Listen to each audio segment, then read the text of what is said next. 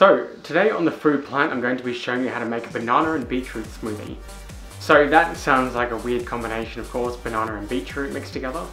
But um, what we're going to be using is actually beetroot powder. So you should be able to find this at um, health food stores I suppose and maybe smaller stores might stock it as well. So it's basically just, as you would assume it is, it's just literally just like dried beetroot ground to a powder. Essentially what we're using it for is actually more for the colour. Um, so this gives us a nice sort of like beetroot sort of pinky purpley sort of colour. Uh, to get the sort of flavour you get from beetroot rather than putting beetroot in, beetroot has a touch of an acidic sort of hit to it, so we're going to be using an orange. That orange mixed with the uh, colour of beetroot will pretty much give you the flavour of beetroot. Um, so of course, uh, so we've got the beetroot, we've got the orange, banana is the main ingredient.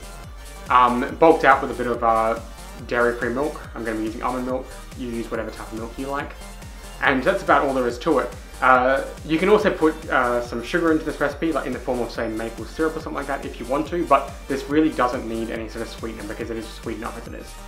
But that's about all there is to it, so let's get started. Right, so start with the blender. I've got about half a cup of water in there. So add to that one cup of almond milk.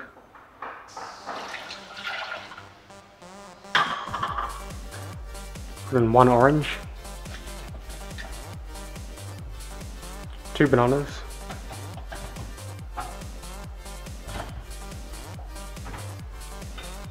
And then about a tablespoon of beetroot powder.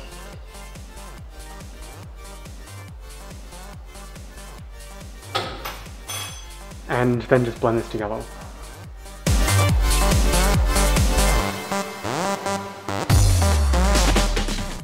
So there is the uh, finished result. As you can see here, it's got the um, pinky purpley sort of colour that I said the beetroot would give.